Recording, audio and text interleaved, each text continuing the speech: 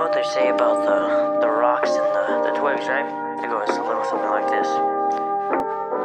Sticks and stones may break my bones, but sticks and stones may break my bones, but sticks and stones may break my bones, but nothing.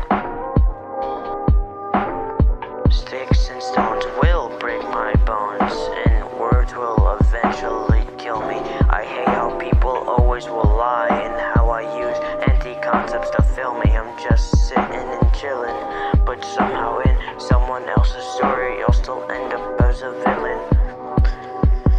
Man, just doesn't make sense. Hence why I have such an urgency to fix it. But there's so many ingredients we'd have to mix in, and I don't have that big of a bowl inside my kitchen. Who am I kidding? I'm not gonna fix. I'm problem just gonna make them.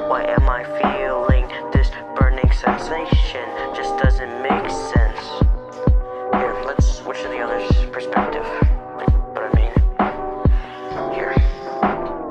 Sticks and stones may break my bones, but words will never hurt me. But if I don't listen to what other people say and think, I'll just end up sad and lonely. Honestly, there is no winning if you don't swear you're a square, but if you do,